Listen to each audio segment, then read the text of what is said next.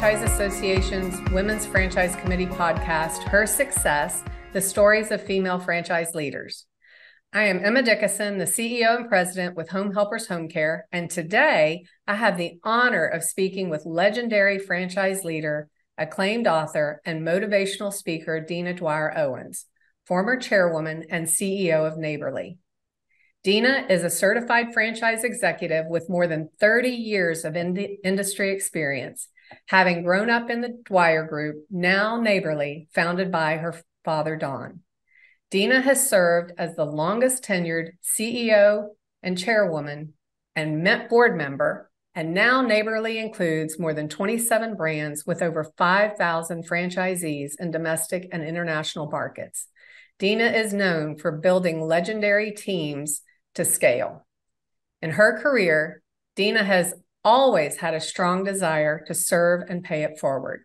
She has been a long-standing member of the International Franchise Association, having led the association as chair in 2010. She was awarded the Bonny LeVine Award in 2002 for her work mentoring other women to be successful in franchise leadership roles.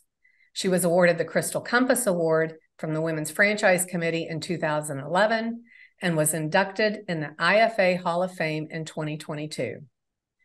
Dina has lived her personal and professional life in service to others, keeping values front and center. She wrote Live Rich, highlighting how to live out your code of values in 2005, and followed that up with Values Inc., focusing on how to live right and do the right thing in business and in life. Dina has encouraged and set an example for thousands of others focused on work, family, and relationships, all the while being a daughter, a working wife and mother, an aunt, a grandmother, a friend, a mentor, and a woman of faith. Welcome, Dina. And it is such an honor to get to spend this time with you today. I am one of the thousands that has benefited from your work over the many years. And I am so glad that our audience is going to get to know you better. I highlighted the awards you've received at the IFA over the years, and I'm proud to say, although you didn't know me back then, I was in the audience for every single one of them and truly inspirational for me. Wow, Emma. No, I had no idea. What I remember is you being with me um, at an IFA summer board meeting when I was riding a bike and I got a little too aggressive and I got cut up pretty good. So I know you were there, but yeah, I was there. Amazing to, to hear. Yeah. And thank you for having me today. Well, like you, I've spent 30 years in the industry and I'm very happy with the, the work that I've been able to do. And I've learned from many women, such as yourself and Melanie Bergeron and Catherine Monson, uh, uh, Joyce Mazero, the list goes on and on. So truly is an honor to get to spend some time with you. Um, uh, you know, for our listeners, I thought it would be a, a good opportunity. You know, we've connected uh, some over the last few years. And one of the things I learned is that you and I both grew up in the family business. And as children, we began working in that family business at very early ages. So when you think back, and I know for me, it was one of the best things my family could have done for me. So for you, can you tell us a little bit about those experiences? And more importantly, what were the top three most valuable lessons you learned? Oh, wow. Yes, getting started young um, was invaluable. And I didn't like it when I was 12 years old. I didn't get to do the slumber parties with my friends every weekend. Instead, I'd be at the car wash at eight in the morning, right? And uh, working selling uh, car washes and pumping gas and selling detail jobs. My dad always had me at the the front line, right? Always learning how to sell. So, uh, yeah, looking back, it was such a, a, great gift that he gave me and my five siblings uh, to put us to work at a very early age. And so, the greatest lessons I think were number one is love is leadership. I think that what I learned from observing my father, even though he was he was one who definitely uh, gave you tough love, but he loved everybody that worked for him and he believed in the untapped potential of every human being that he worked with. So really loving those around you. And and my definition of love, or the one that I've borrowed from Thomas Aquinas, is um, love is to do uh, to will the good of another. So you know, my mind, there's no reason not to love every single person because we want what's good for everybody. Um, number two is to have a, a clear set of values. So even at that young age of 12, my father had clarity of what his values were and was indoctrinating those into me and my five siblings. So to have clarity of your values. And then I think number three is to know who you are and not be afraid um, to, to be you. I've heard so many women um, in my lifetime, and, and actually, I've been in the business for almost 39 years, but so many women who talk about all the challenges, all the things that are just so hard. And if that's all you think about, you know what? It's going to be hard. And all you're going to do is make it harder for yourself. So, really believing in myself. And I was around male dominated businesses all of my life. You know, so even when I was doing public relations, when we were a publicly traded company, I was around mostly men. And the, the benefit to that was there was no line at the women's bathroom. So I think all the women would appreciate that. Um, but I was just surrounded by men. And if I ever let myself go down that trail of, I'm being treated differently, or I can't make it in this man's world, or whatever the negative things are that we, we bring to our own minds sometimes, I probably wouldn't have made it. But instead, I said, I know who I am. I know what I'm good at. I know what the customer wants. So if I just focus on those things and I surround myself with a bunch of other great people who fill the gaps, I'm going to be just fine. Yeah, that, that is so true. And like you, grew up in a male dominated, while home care certainly isn't, franchising at the time was. And I can remember one of my first conferences going to the annual leadership conference that the Women's Franchise Committee uh, still today is a you know sellout event and looking around the room at that time only women could come now it's certainly we welcome all who want to learn more about leadership but there were 30 people in the room and Julia Stewart at the time was with IHOP, and she was the right. featured speaker. I was there that year that you were uh, our keynote speaker, and just the lessons that you learn, and and you know, it to me, it all does come down to believe in yourself, have a great attitude, and work hard. That's one of the lessons right. I learned from my family business is work hard, and if you work hard, good things will happen. Um, and, and I'm so I was just mm-hmm. saying family businesses too. You know, so many people think believe things are handed to us. Well, I know it wasn't the case for you, and it certainly was not the case for me. So working hard was critical because we wouldn't want anybody to think that anything was handed to us. That would make me feel good as the leader, right? I have to earn my position. And that, that was one of our original values, actually, is we must re-earn our position every day in every way. And my father hammered that into us as as young adults, you know, getting into the workforce and it still rings. And i'm not you know physically in a work environment anymore but no matter what it is that i'm doing that comes back to mind. Um, i must re-earn my position every day in every way. Absolutely. I, I remember you know for your for you it was a car wash. For myself my family business was an independent motel in florida not franchise and I learned to be uh, the switchboard operator, the maid. Every every weekend and summers, I was on the cleaning staff to clean the pool, to paint, to you know whatever it took is what you did because your your livelihood depended on it. And you know those are I think great lessons, especially as you go into franchising, that you can understand and relate to when a franchisee puts it all on the line and that they have shown value and invested in you as the franchisor because they trust you and they believe in you. And that is an awesome, awesome responsibility. And it's one that can't be taken lightly. That's right. When I watched your interview with your daughter, which was terrific, by the way, I, when you were talking about that, I thought, oh, yeah, I remember the days I had to be the one on Christmas Day to go and suck the water out of the carpet at an apartment community because my dad didn't want to call um, the other technicians, you know, that were off that day and bother their families. And you, you just go and you do it. That's exactly right.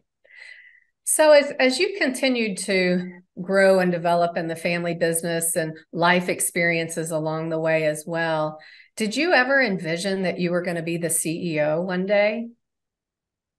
It was not on my goals list. so I do remember my father, you know, always saying to me, um, you're one of the future leaders of this company. And I wasn't sure what that meant. I was already running a real estate division at that point in time. And of course, he wasn't paying me much, but I could make anything I wanted to based on commissions and bonuses. but my base salary for running I don't know, like a million square feet of real estate was was nothing. And I think I had 28 uh, team members that I was working with.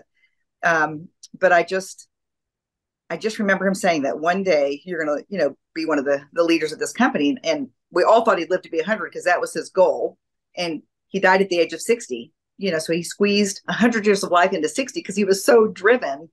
But that was, um, you know, it was really uh, quite a surprise when the outside board of directors of our publicly traded company invited me to be the CEO, and that certainly came with its challenges. It does. So, kind of, how did you think about preparing for that when when it came time, and you know you're going to step into that role?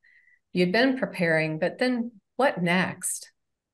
Yeah, I, I guess I, when I was first invited, I thought, "Wow, am I really the right person for this?" I I was honored, and I wanted to be given the the opportunity but I did, you know, inside say to myself, am I really the right person for this? And I had years of preparation. You know, my my father and other leaders in the organization planted so many seeds and nurtured those seeds within me, you know, put me in tough situations, which is what makes us very strong, right? It's not the fun stuff that makes us better. It's typically the really hard stuff, the failures that you have to deal with and and just the really challenging times. So the the biggest thing I did to prepare was just I, I just had faith. I mean, I just went into it saying, if I'm the right person, this is going to work out. And to be honest with you, the the board of directors, we were traded on NASDAQ at the time, publicly traded. And the outside board of directors put me in as the acting uh, president and CEO because I was 35 years old. They had fear of shareholders saying, What are you doing?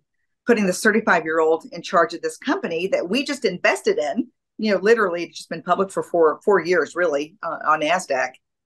And yet, I said to myself, if I can have the right people around me, I can do this. But I need people's support. And my family, I have five brothers and sisters. I needed to know that they were behind me, and my mother was was certainly behind me. And then uh, I had to go out and prove to everybody that I could do it. And there's one story, uh, Emma, if you'd like me to tell, kind of a the the first challenge I bumped into, and it was right away a group of Mr. Yeah, group of Mr. Rooter franchisees um, got together up in the Northeast and they, sorry, Northwest, and they did a straw poll. They weren't asked uh, their opinion. You know, do you think Dina should be the the permanent president CEO? But they decided to do a straw poll and see what the other franchise owners thought. So they voted against me being the the uh, president and CEO of the company. And the gentleman that kind of rallied the group um, was was a man named Bruce and ran a very very good business. He and his wife ran a beautiful Mr. Rooter franchise up in the Northwest. So I had to meet with him because I thought, you know, we hardly know each other, and yet he's rallying the franchisees, top franchisees, um, to not support me going forward. So I remember sitting down with him, and it was one of those, uh, you know, I I asked to meet with him, and we sat down, and I'll never forget the sweat balls dripping off of his forehead. because he's probably thinking, who is this little twit? You know, who did, who does she think she is asking to meet with me? And I met with him with with the right spirit. You know, I prayed before I went into the meeting, and I said, you know, Holy Spirit, just be with me here and help me to to face the truth, but to have the courage to to stand up for myself and for the company. And I said, I understand you did a straw poll, and you all voted against me being the permanent president and CEO, and I'd like to know why. He said, number one, you're not a plumber he was right. he said, number two, you've never run a company this size. Darn it, he was right again. I said, you're right. You're right about both of those things. And then I, I really have to give credit, you know, to my faith in the Holy Spirit on this one because I wasn't smart enough to come up with this answer. But I said, but you know what I am? I'm the customer. When you and your text knock on somebody's door, who answers it? Most of the time. He said, the woman of the house. I said, that's me. I know what the customer wants.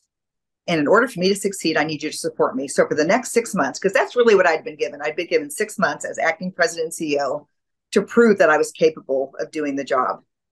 And I said, because if you continue to backtalk behind me, it's just going to cause drama. My, my time's going to be spent on putting out fires instead of proving that I'm capable of doing this again with the right team in place.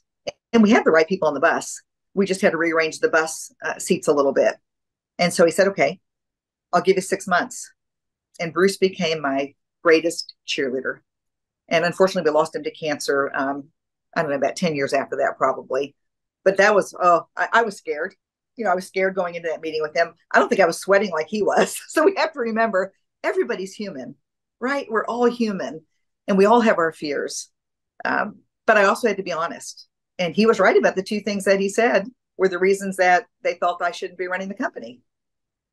You know that that's a great story. Thank you for sharing. Because even even i don't care how much experience you have in leadership you're always looking to grow and develop and you seek uh, mentorship. And there are times where your faith is strong and you know that you're in the right direction. However, sometimes that self doubt can come in there when things like that happen, that someone else doesn't have the same faith in you that you have in yourself, and how you go about kind of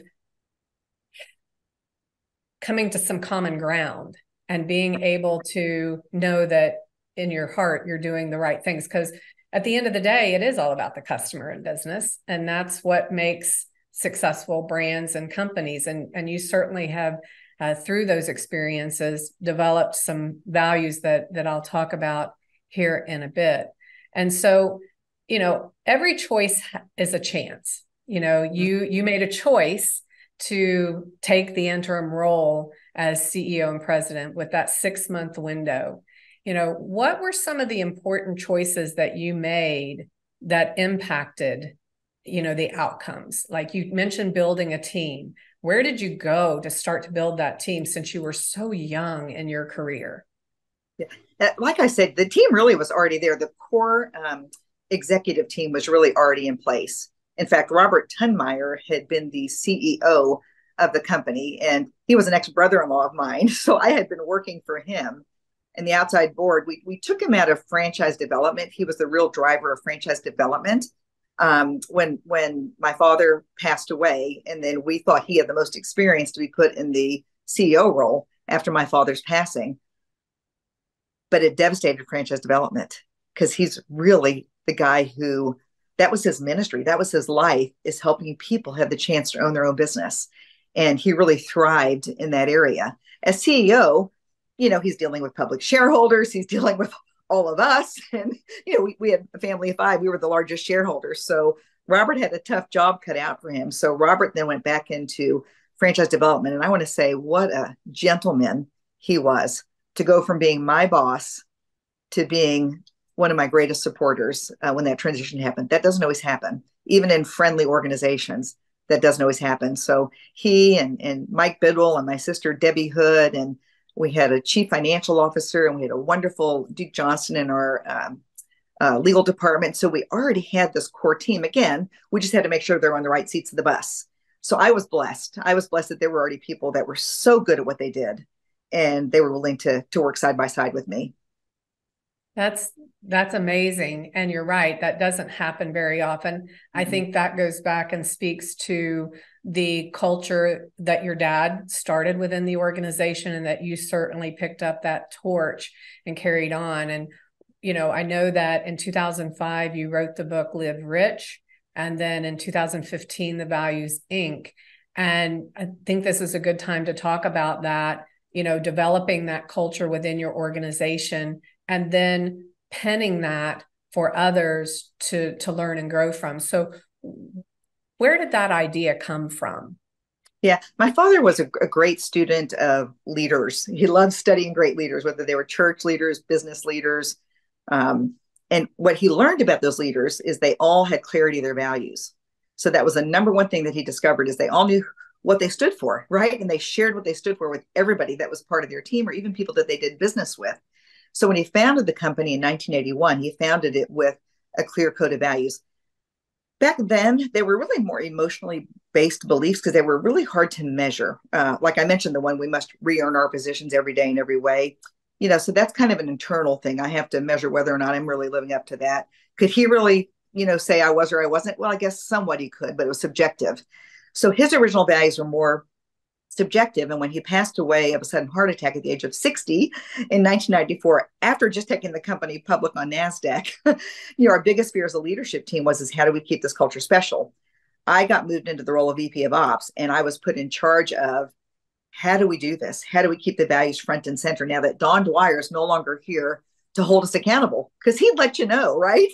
You're doing a great job today living up to this value, but you know, you could use some work on this one. So we hired an outside uh, consulting firm to come in and we looked at the original values and we operationalized them. So basically, we created a set of core values under the the four areas of respect, integrity, customer focus, and having fun in the process. And that's where the RICH comes from, the acronym RICH. But below each one of those core areas, we also said, what does it mean to be respectful? We want to be specific about how we hold ourselves accountable to that. So, treating others as we'd like to be treated, listening with the intent to understand what is being said, and acknowledging that what is said is important to the speaker. A really important one for our company is speaking calmly and respectfully without profanity or sarcasm. So we we call those values, but some might call those operational accounting, uh, sorry, accountability statements. So it took us about a year to bring those into the organization. About 125 employees back then in 1996 brought the team together. Said we we think we know how we can keep the culture special based on the values.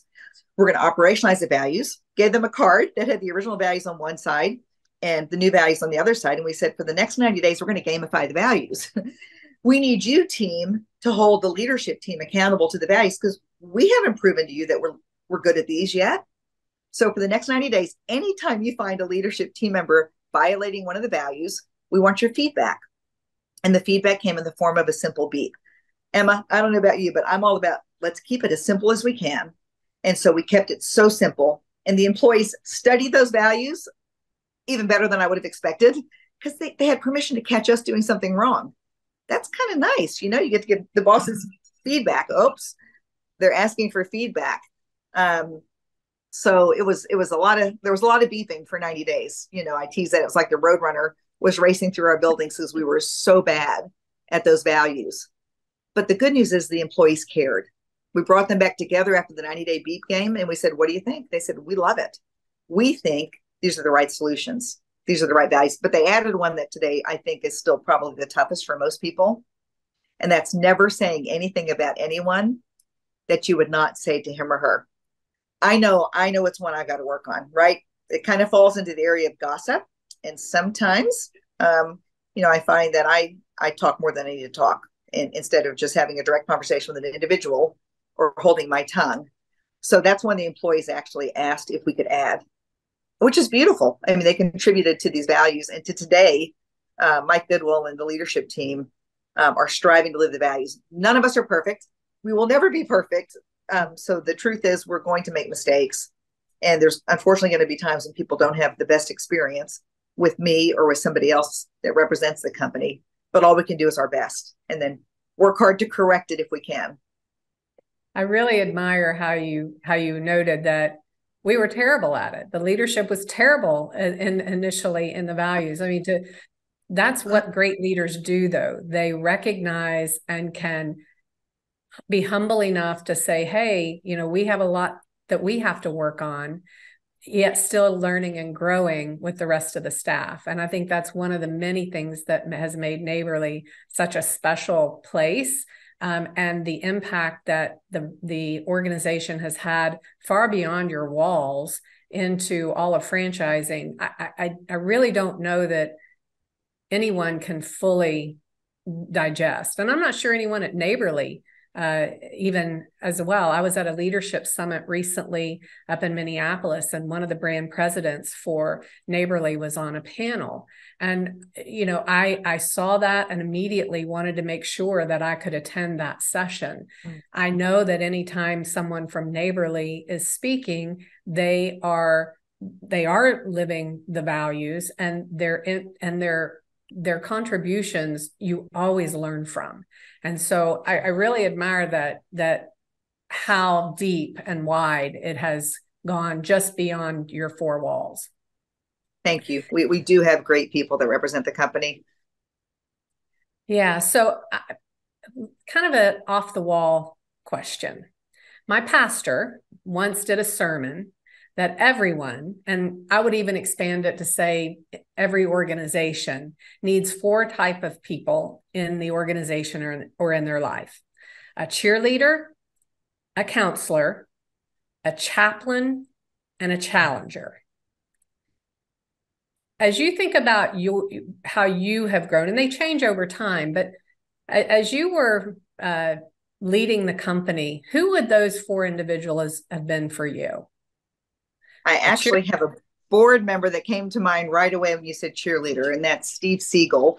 Steve Siegel was the first franchisee to become chairman of the IFA. And mm-hmm. Steve joined our board. Um, oh, I can't give you the exact date, but it would have been in 2000. I'm thinking six ish, 2005, somewhere around then. And and he was such a cheerleader. He and my sister Debbie, I guess, but Debbie also. Um, there was another one that you said challenger. yeah, she she, uh, she is uh, not afraid to give honest feedback to her sister. And so in my leadership role, I really appreciated the fact that she would be tough on me, right? And uh, that's not easy to do with a sibling. It's not easy to do with somebody who's not a sibling, but she wasn't afraid to give me the feedback I needed to hear that that uh, sometimes I didn't want to hear. So I would say she was a good challenger, along with Robert Tunmire, who was the ex brother in law that used to be the CEO. He was never afraid to give me uh, his honest feedback. And we can laugh about some of those things because, anyways, you know how those stories go. okay, what were the other two? Counselor and a chaplain. Oh, I had a, again another wonderful private equity partner, um, Stuart Baxter with the Riverside Company. That was our first private equity partner and then also our third private equity partner. They actually came back and bought us for a second time. And Stu Baxter just, um, in a very, very sincere and generous way, would give me great counsel. I could call him with tough situations and tough situations that involved his company, right? He he was the, the lead partner um, during that time on our, our board. And I, I always could trust that he was going to listen to me and give me his his best feedback. And many times it was different than what i thought we should do. But i appreciate that i was i had somebody who was listening to me. Really they really heard me but they also gave me uh, honest feedback. And last one a chaplain. Oh goodness. You mentioned melanie bergeron earlier. Yeah. and melanie um, i could always go to melanie uh, she's a, a, woman of faith, and I could always get you know honest counsel from Melanie as as if you want to call it chaplaincy, and also my my um, executive assistant Carol Dugard. Carol still works for me five hours a week right now because you know I still get a lot of emails that I, I I'm not the best person to touch, so she takes care of those. But Carol was such a confidant, you know, to be a publicly traded company to be working with um, somebody day in and day out that I could just give her my greatest fears and she would give me just great thoughtful counsel um, but again in a very faithful sense. You know she was very spiritually in touch with um, what's what's right what's not right. I you know i found over the years my pastor did that sermon it's been some years ago and i immediately took notes and and i have found that my perspective in life and in business that that has remained to be true. And some people say well why do you want a challenger you know in in in any role? And i'm like that's the best. That's where great growth comes. And each of those individuals play a, a key role in in growing. And i and i mean myself growing into a better wife a better mother a better better leader you know whatever roles though those that you have I, I really have found that to be pretty solid um, counsel and, and insight from my pastor in the pulpit. So that's that's a great question. And before I forget, actually, my my greatest cheerleader is my husband.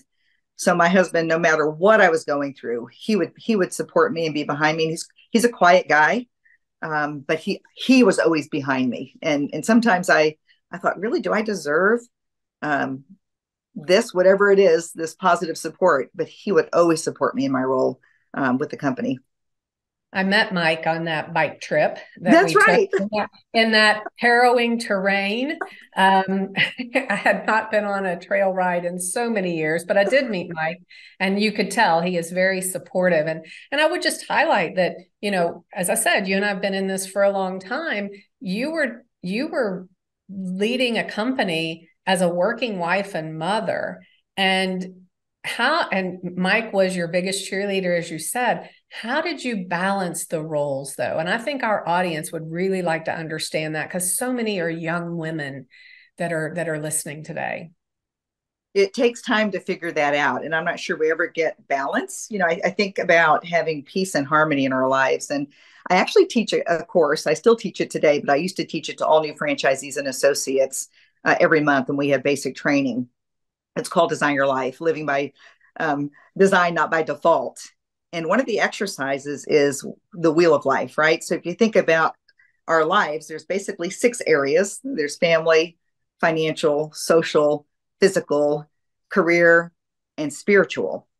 And so I get people to to rate those spokes on their wheel of life, and then you pretty mm-hmm. much connect the dots. I'm sorry, I keep being reminded to give blood, and and I need to do that, but I don't think it's today.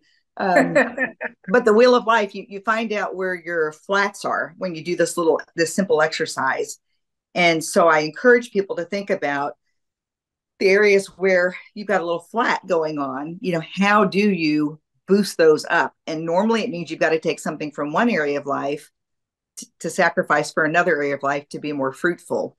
And I give an example of when I became a president CEO, I really was afraid to accept the job initially because I was traveling so much already and I was spending so much time away from my husband and my young my young children and I said I really am not willing to sacrifice more time away from them. So how can I possibly accept the job of CEO and have more expect to have more time with my kids. But when you think about your wheel of life and you think about where you spend your time, money, and energy, I quickly realized that, and I did this time study, that 15 hours of my week was spent on household related chores. I don't have to do those things, right? I don't love cleaning the toilet. I like a clean toilet, but I don't have to be the one cleaning it. So Mike and I decided we were going to invest in our, our family's time together by hiring a housekeeper. And thanks be to God for Isabel. Here we are 24 years later, and she's still tends to our family and our home so that we can go do other things that are more relational uh, with our family and our friends. So that's what I did. And I had more time with my family as I became CEO than I had had as chief op- or as a VP of operations prior to that. Now, that didn't always stay that way, right? Things happened. We went and made an acquisition. So things got really busy and I didn't have that extra time and then I brought it back into a semblance of balance again. So you have to kind of go with the ebbs and the flows because that does happen. But overall, I had this wonderful peace of mind. In fact, it was probably one of the most happy times of my life um, because I figured out how to try to make it all work. Now, I don't know what my kids would say. Um, I would go to school and have lunch with them. So instead of going to lunch for a business meeting, I'd go sit in those tiny little chairs and eat tater tots with them in elementary school. You know, you make the choices. I, I remember hearing Alex interview you, and Alex was like, Mom, I wouldn't have had you do it any other way because you did think about me. and You did give me your time. And you know what? I don't want too much of your time when I'm a teenager. I just want enough. that is so true. And I can remember there were some trips where the important things, if if I I would I literally would take, you know, flights at odd times, like just to make sure I was home. I would do a day trip. Of course, back then you know, it was, I will say air travel was a little bit easier. I had a lot more options out of Cincinnati for uh, in and outs. Don't quite have that today, but so grateful when I did because I could leave my house and be in my office wherever my office was because my office was not in Cincinnati at the time. And sometimes do a trip back at time to be at seven o'clock game um, if it was an important game, whatever that looked like. But I think you do. You would just work real hard to find that balance, and you set. You you have are so blessed. At least I was same to have individuals around me, whether they were family, friends, or individuals like Isabel that you hire to kind of pick up that gap, and and it it it does end up working out all at the end. And I I don't think I, I do think that. Uh, we get what we're what God's plan is for us. You know that that's where we that's where we lead. So you know you've had numerous successes over the years, of which I highlighted some in in the beginning. So conversely, and this is a pretty you know typical question, what would you say is your proudest moment, and then what are what was one of your hardest lessons you learned? Yeah, the proudest moment is comes easy. Uh, when we were still publicly traded, but we knew that wasn't the right place for us to be, right? We were working so hard, and the the uh, market just wasn't giving us any appreciation of our stock for all the work that was being put in, and we were thinly traded. So you know, I get it. So we went from being public to private, and our family back then, it, the company was much smaller back then. This is in 2004, and, and I mentioned the Riverside um, private equity group who came in, and our family did make um, a nice amount of money from the stock sale and we met as a family. We said, we need to reward our team members. We would not be here today if it weren't for our team members. And our, our family, my mother included, collectively said, this is what we want to do. And I, I won't talk about the, the numbers, but we gave a substantial part of the monies that we received from that sale back to our employees. And it wasn't just about the employee who had the biggest position in the company, it was about tenure because if they were still with us, that meant they were loyal, right? We weren't just going to keep people just to keep people, right? There were people that were loyal. Um, so it was tenure. And we um, just said for every year of their employment with us, they're going to get X amount of dollars per year. And the funnest day was when my mother got to sit there. We let her do it. She was the, um, I think she was still in the chairman's position in the company or co chairman. And we handed those checks out to the team members um, and and then just just about four years ago, we hired a estate planning attorney to help facilitate um, these meetings that we have with my my brothers and sisters. We actually have a family limited partnership, and so we meet every ninety days. And this facilitator, one of the first questions he asked us was, "I'm going to have you divide into groups of three, and you're going to go off, and you're going to come back to me with what is the story that you're most proud of as a family."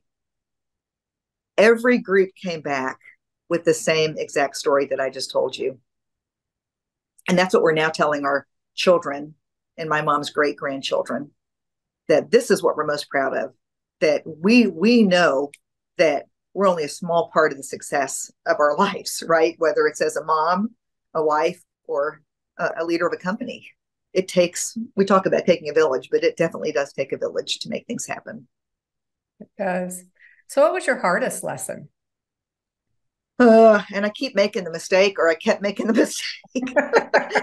there, there, there, there are a lot. So there's a lot. Um, but I would say to you, not listening to my gut when there's a, a, a decision that needs to be made in the organization or in life, and my gut saying this is what you need to do, and yet my mind saying, oh no, let's do this, or let's try that, or let's give this benefit of the doubt. Let's get that. I'm big on benefit of the doubt, right? Um, but there are two occasions in particular that I don't want to get into details about. One had to do with an individual who didn't belong on our team. And other people thought he should stay on the team because he really knew this side of the business and he knew how to make money on this side of the business. But in the meantime, he was the bull in the china shop, wrecking relationships, right, with other team members and franchisees because he was not living up to the core values and meeting after meeting after meeting, trying to build him up and trying to support him and get him there. It just wasn't happening. And I'm not saying he was a bad guy. I think he's a guy with a good heart, but he had just some some challenges um, in leadership for whatever reason that just didn't fit with our company. So it took me too long to make a decision on that particular one. So not not going with my gut when my gut's just really strong about something and then me not listening I would say that I would share that same lesson. And I, I think it when you're a leader and you live with a code of values and you do provide, I, I use the word grace mm-hmm. a, a, mm-hmm. lot, um, being able to really believe in the best of people. And I think people inherently want to do well. They want to do good. Sometimes though you just don't have the right seat on the bus. And that's right. I'm, I'm right there with you. So I know that you also appeared, and I've seen the episode several times uh, on Undercover Boss. So tell us a little bit about what that experience was like, and did anything surprise you?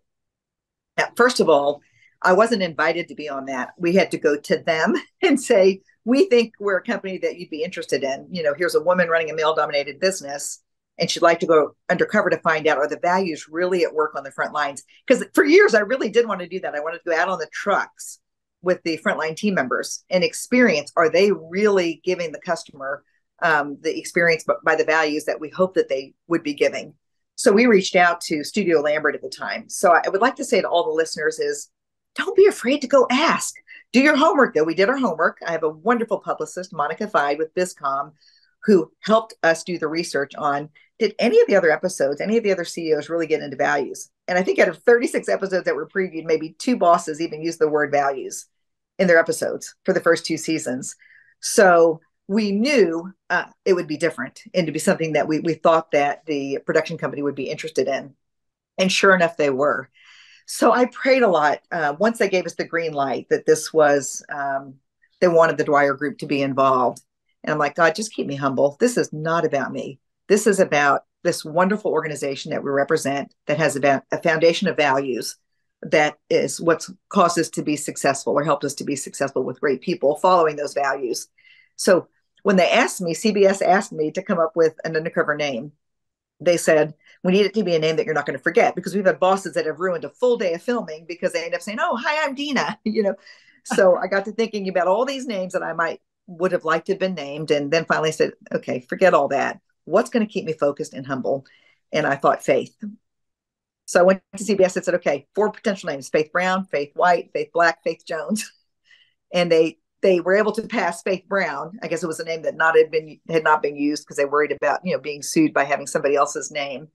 And so the entire episode, you know, I'm being called by Faith.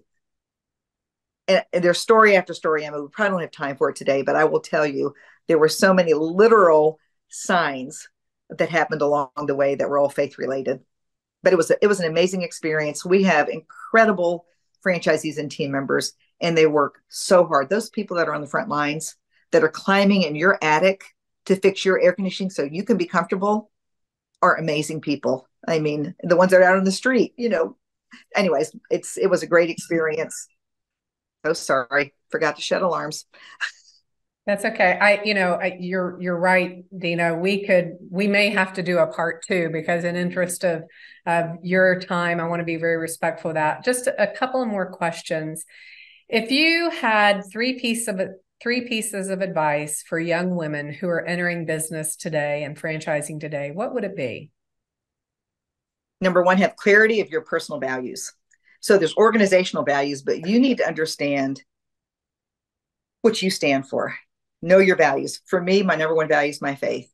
And I have certain rules and rituals that support that area of my faith. For example, this morning I was up, and in my case, I was at Mass at 7 a.m. this morning, and then I stayed for adoration for a full hour.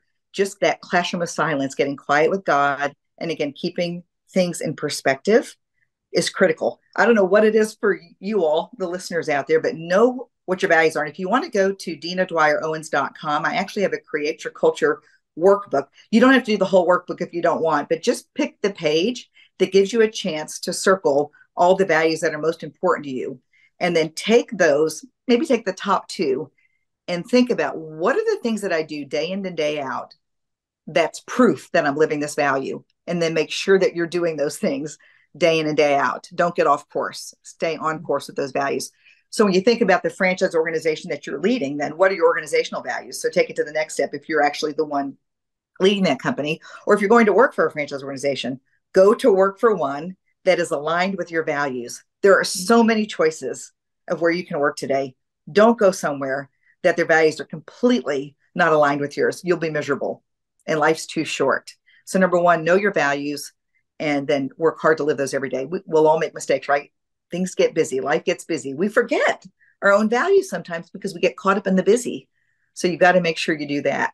Um, number two is to plan and prioritize your time, your money, and your energy. And if you know what your values are, it's a lot easier to do that.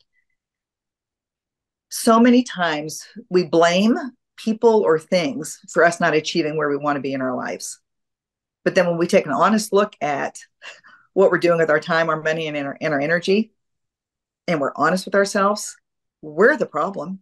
Let's not blame it on anybody else. We're the problem. So have clarity of your values and then plan and prioritize your time, your money, and your energy. And you know what? You you can get so good at this, it only takes a half an hour a week to think about next week. What are the most important things that I need to achieve to get closer to my personal, my professional goals? And put those on the calendar and don't let any excuses get in the way or distractions get in the way of you achieving those unless it's a true emergency a family you know issue or something like that good So, and looking back, what would you tell your 12 year old self? Knowing what you? my 12 year my 12 year old self. And I picked 12 because I know that's the age that you started working in the family business. Well, I would remind myself that you can do anything um, that you put your mind to if you're willing to work hard enough. I was a very heavy 12 year old. I think I was 125 pounds at 12, but you know, what? I was a happy, heavy 12 year old.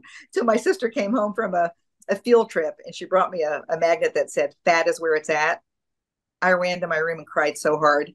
But I looked in the mirror and I saw the triple chin and I thought, I am fat, aren't I? And you know what? I'm not saying that we have to be skinny minis. I'm just saying I wasn't taking care of myself. I was eating the um, back back then. I guess McDonald's was um, offering the Big Mac, and they didn't hadn't even done the big fries yet. But I would do the Big Mac and the fries, and then I would have either a shake or an apple pie with it. At 12 years old, so I decided I was going to start exercising, and I was just going to eat half of what I had been eating. And that summer, you know, my my body changed, and I felt so much better so i would just say that that's an example but you could you can do anything you put your mind to if you're willing to to put the work behind it. Okay. And lastly just a couple of speed questions. What whatever comes to your mind first. What's something you're obsessed with right now? Listening to a podcast called bible in a year by father mike schmitz. Okay. What's your favorite word? Love What's your least favorite word? Hate. Your guiltiest pleasure? Chocolate. and then lastly, because you and I have talked about being women of faith, when you leave this world and you arrive at the pearly gates, what would you like to hear God say when you arrive? Well done, my good and faithful servant just gave me chills because that's I, I, was asked that question once and that mm. was the exact same answer that I gave.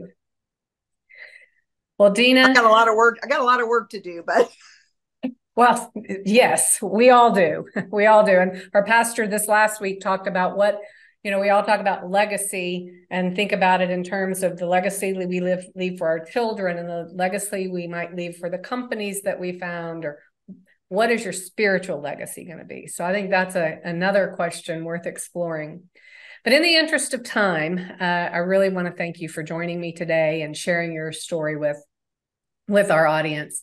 And more than anything, I would just like to thank you for leading the way for so so many, uh, and and getting to positions uh, in leadership and doing it through a strong code of values that it just has spoke volumes to so many. So really appreciate it. I know our audience is going to love listening to to our time today, and we may have to follow up in another season with a round two. Thank you, Emma. And I'm I've been so blessed by the International Franchise Association and all the amazing people like you that I've had a chance to meet and get to know. It truly is an extended family, and I, I just feel blessed. Thank you.